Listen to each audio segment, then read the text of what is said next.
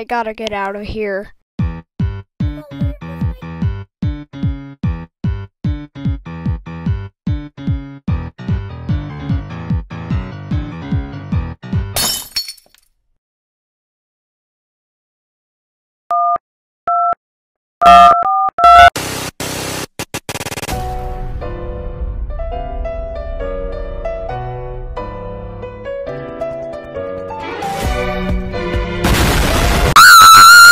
There goes the flying bit of the Atlantic Ocean.